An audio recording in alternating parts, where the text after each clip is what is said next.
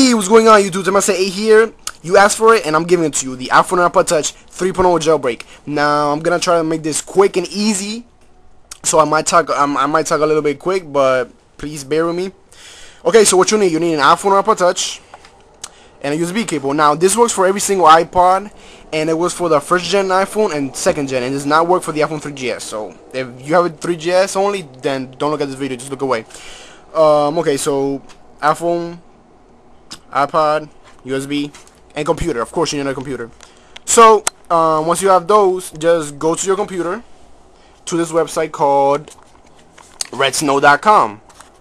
It's right up there. Let me see if I can focus it a little bit. redsnow.com. Now, the um, it's actually red SN0W because that's not an O, that's a zero.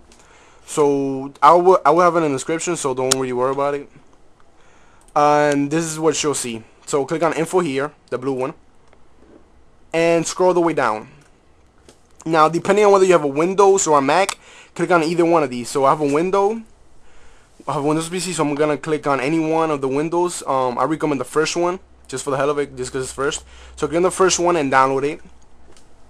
If you have a Mac do the same thing and follow the process.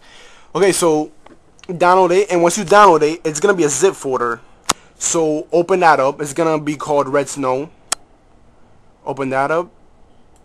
Double click it.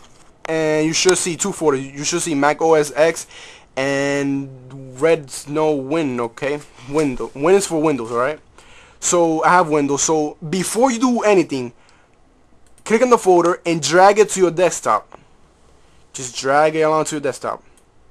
Because if you try to open it, um, if you try to if you try to open it from there, it will not work so uh,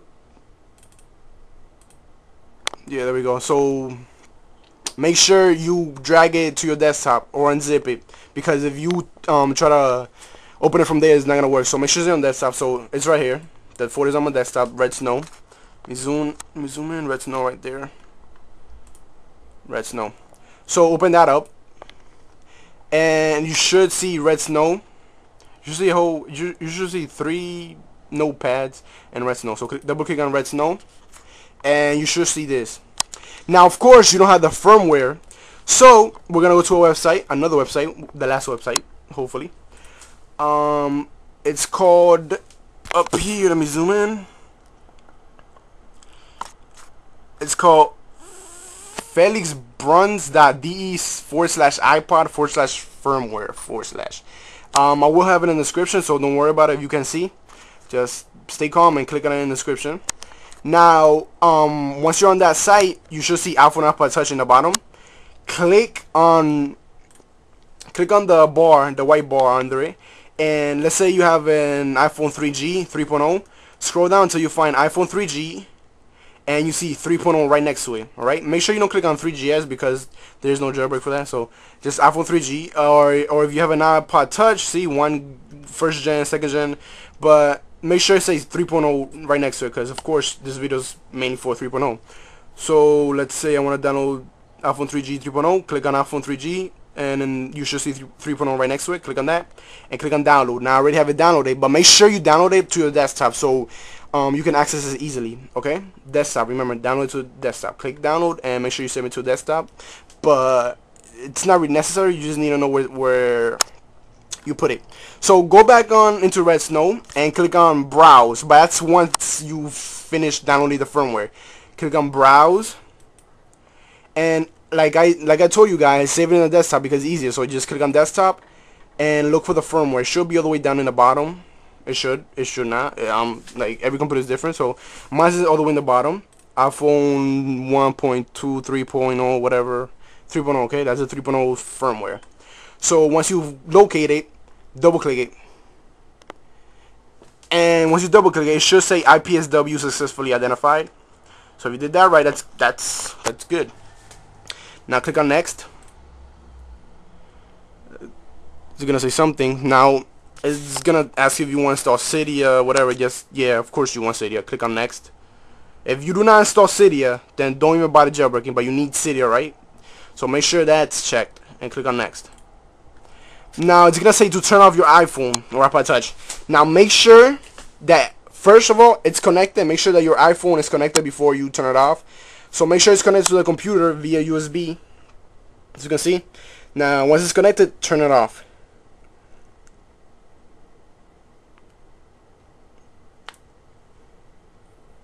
And wait until it turns off. Don't just make don't just pretend it's off. No, make sure you wait. As you can see, I still have the little spinning wheel of death. That's how I like to call it. so let me just... So wait.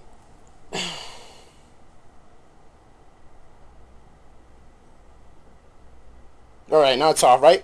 It's off, so make sure it's off, alright guys? Don't be like, oh, it's off. No, make sure you wait.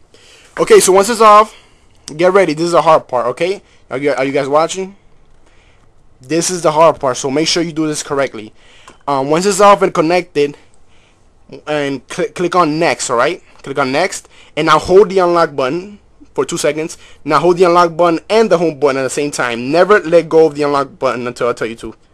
Six, five, four, three, two, one. Now let go of the unlock button, but hold the home button, and do not let go until the screen changes a little bit, alright? Do not let go. Make sure you do this right. Otherwise, it won't work. Now, hold it just a couple of seconds longer. There we go. until you see the white screen. Then, if you want, you can let it go. So I'm just going to let it go. And voila. Um, once this is finished, you will have a jailbroken iPhone or iPod Touch. Trust me, guys. Um, this is pretty much bulletproof. You cannot mess up. Alright? Download whatever. Up. Fuck. Alright, so guys, um, it crashed on me. If it, that happens, it's normal. Just make sure you hold on to the home button long enough, alright? Don't just let it go right away. Um, so yeah, if it crashes on you, don't worry. Just repeat the process until it, you do it correctly. Now remember, the folder must be in the desktop, right? You must get the zip um you must get the folder inside the zip out of there right? So make sure you hold the home button because for some reason if I let go the, of the home button too early it will not work alright guys? So make sure you hold the home button. And once you see the blue thing right here the blue bars on the on the screen on the PC screen and the iPhone looks like this you're pretty much set. Once this is done you you pretty much have a jailbroken iPhone and or iPod touch alright guys? So um, I don't know if I should be walking you guys through this because it takes a couple of minutes. It doesn't take that much, but you know. And look, well, not even. It's pretty much done. So yeah, um, once again, it crashed on me the first time. I'm guessing because I didn't hold on to the home button long enough. But if that happens, just don't worry about it. See, it says done. So I'm gonna click on finish on the PC, and now look at this. This is what's supposed to happen um, once you're this far, you're pretty much set. You pretty much have a jailbroken iPhone and iPod. So you see, guys, this was really easy. Once again, mine's crashed on me, and I wasn't scared. Just repeat the process again. All right, guys. Um, so I'm gonna fast forward this.